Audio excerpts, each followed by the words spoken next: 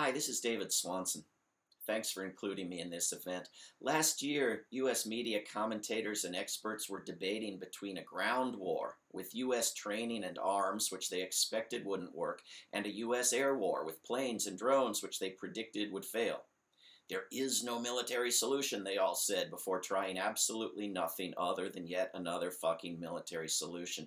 And of course, they've tried both. They've tried training the people they still call and think of as the natives. They've advertised a pointless doomed effort to kill one's neighbors as part of what they admit is a lack of any real plan, and managed to attract very few recruits. They've trained some 60 at a cost of some $4 million each, armed them to the teeth, and marched them off to fight enthusiastic killers in greater numbers, also armed with U.S. weapons, and apparently that hasn't worked due to their failure to fight well, just as it wouldn't have worked had they fought brilliantly and courageously. The air war has not been the massive bombing of Syria that public pressure was instrumental in stopping in 2013, but it has been sufficient to kill hundreds of civilians while boosting recruitment dramatically for ISIS. Well, Americans plead in chorus, what would you do? What would I do? Look at Iran where you've got one of the two big sects in favor of talking and the other in favor of bombing. The Democratic sect says let's try diplomacy, even while pushing the same lies as the Republicans and Schumer's about an Iranian nuclear weapons program and Iranian aggression. Why? Only in Iran.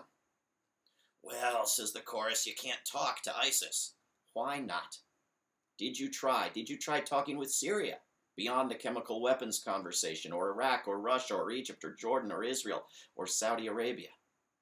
Our socialist candidate for president wants the benevolent democracy of Saudi Arabia to take the lead in all the wars, even as it arms the opposite sides of those the U.S. says, sometimes says, it's on. He says this while supporting the Iran agreement and threatening war as an alternative with the all options on the table euphemism. What we need is honesty. Iran has never had a nuclear weapons program, has no such plans, and is less of a threat to us than our own police or our own pollution. The U.S. should dismantle the so called missile defense program and begin complying with the Non-Proliferation Treaty itself. It should carry diplomacy to those places where both U.S. sects want war. It should invest in massive actual aid with no strings attached and a price tag far lower than training killers. And it should first and foremost stop arming the region. Most of the weapons in Western Asia are US made. Imagine discussing drugs with a ban on mentioning suppliers. The US is the top supplier of weapons. Stop the flow.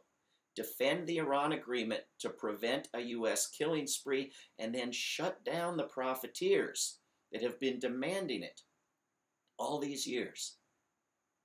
Peace.